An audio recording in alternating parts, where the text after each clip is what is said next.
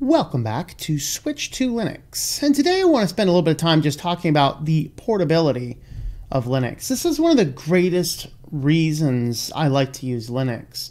It allows me to do interesting things like create a Linux distribution on a USB drive and then use that drive on hmm, any available computer.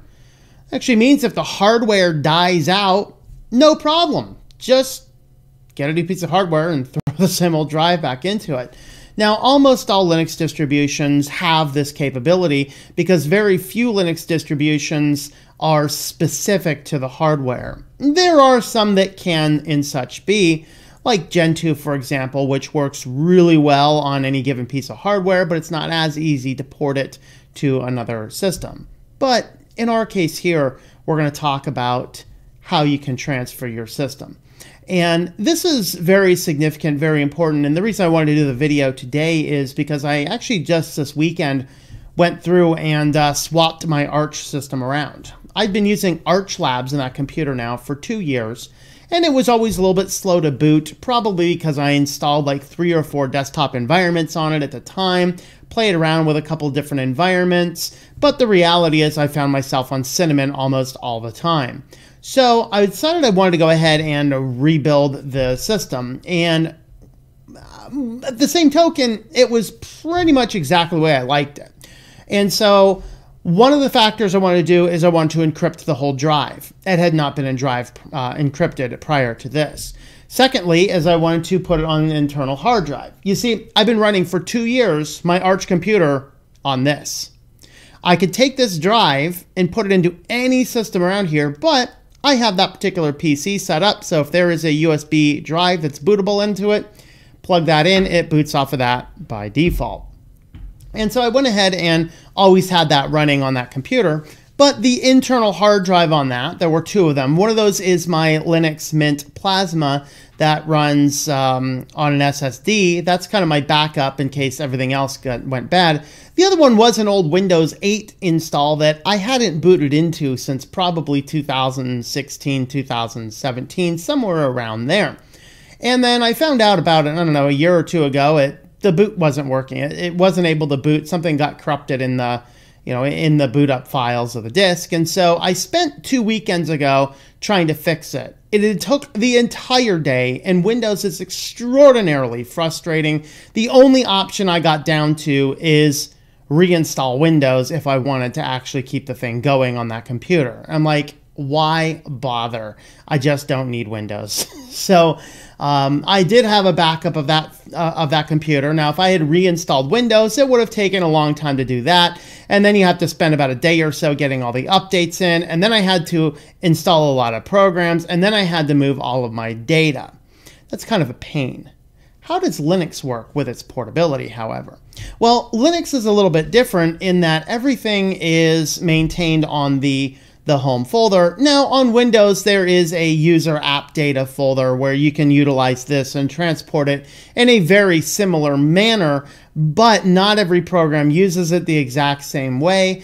There's a lot of other factors that, that go into it, and I can't actually take the hard drive out of one piece of hardware on Windows and just throw it into another piece of hardware and expect it to boot. It'll have issues with the license will match. You'll notice that the, the hardware is not matched up. There's, of course, the check home. There's a lot of other factors. This guy here in the rare cases I needed to use the media PC for other things, which I have had those cases. I just take this guy and throw it on, you know, my production computer, a spare laptop running around, boot off of it, and I have the exact same operating system. Very nice. Uh, a couple years ago, when I actually I was uh, I was actually at a camp and uh, I was doing some teaching, but I was also doing the photography and stuff for the camp. I literally just brought this drive with me. so the regular computer that is on day in and day out was still with me. I just left the hardware at home. And I had to boot it into a couple times for some things I was doing, which was quite incredible. So leaving us back to this weekend, what I did is uh, I decided which arch do I want to do. I went with um, uh, I went with EndeavourOS, and the reason I went with Endeavour is it's very close to Pure Arch, but it didn't take any time for me to look at screens. I thought about maybe ArchFi, but that's about an hour of looking at the screens, answering questions. I said, nah, I didn't want to mess with that. I liked ArchLabs. That was open to another choice as well, but I said, nah, we'll go ahead and and try another one. So I went with Antergos. I set it up to install. It installed itself in, I don't know, 20 minutes. It, it was less time it took me to bake an apple pie. So I went ahead and set it all up to install, went down, baked my apple pie, come on back up. And um, uh, after coming on back up, it was all done. So I'm like, all right, now I just need to install some programs. So I, I had uh, I had the the hard drive booted into the other system so I can make sure I didn't miss any programs. Boot up terminal, sudo pacman SSY, you know, um, SSY, whatever it is, dash, uh, you know, SUY, I think it is. And um, I went back through there and um, went ahead and uh, looked at all the software I had, just one line of code on Pacman, pushed enter, came back about an hour and a half later. All software's installed. I think it was only, it probably only took about an hour. I don't know. Um, I was busy for a while, so set it all up, came back hour and a half later so, and everything was all set up. Then I, what I did is I set up the uh, weekly news roundup on the production computer. I took this guy out, plug it right into the drive, and now it's a simple matter of copying the home directory from this system into the home directory of the old system. Literally, if I did not tell you that I changed the operating system, you wouldn't know. Every program was there, all settings were there. even Firefox even transferred its profile in. I didn't have to enter anything else into Firefox. It was literally like there was no change in the operating system at all. Everything is exactly the same. Everything is reconfigured the same, except there were a couple things that were not in the home directory. Um, my Firefox profiles, uh, which is my hardening guide for Firefox, that is actually in the etc directory, so I had to move that file over. I had to move over um, the themes that I had because I like the themes that I that I liked on here with the the cursors and the icons. Those were also in the USR share file, not in the home directory, although they could have been. And uh, after moving those over, though, everything else is exactly the same. Cairo-Dock exactly formulated where it was.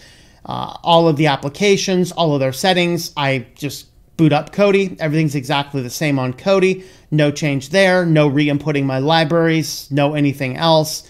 Uh, what other applications here did I do? I mean, literally everything. It was exactly the same thing. And I changed the entirety of the operating system. I wiped out the drive. I installed a new version of Arch. I pushed all the updates, installed the software packages, dropped the home folder on, and everything. I, I haven't missed a single beat.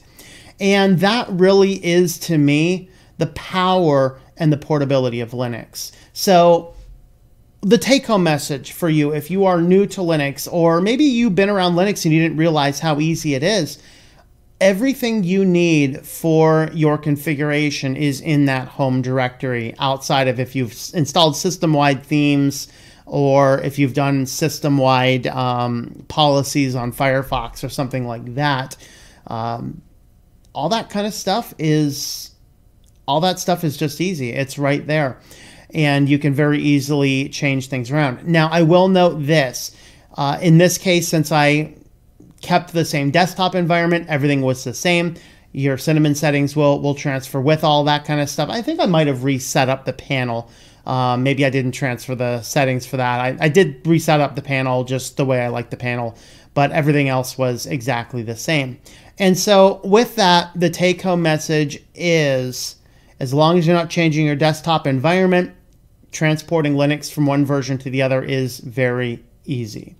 Now, where might you run into a snag? Well, as I said, Firefox profile, that actually surprised me that copying and pasting the profile worked because there was a period of time Firefox profiles did not transfer by copying the files. Maybe that's a bug that's resolved. Maybe it's because they were the exact same version on this the exact same operating system being Arch, and I did make sure that both of them were fully up to date prior to transferring all of the files. Maybe that was it. But if you're going from like an Arch to a Debian, if there is a change in how a program holds the configuration files, that will not transfer over. But that's actually a fairly rare thing at this point in time. Most things don't change their configuration files.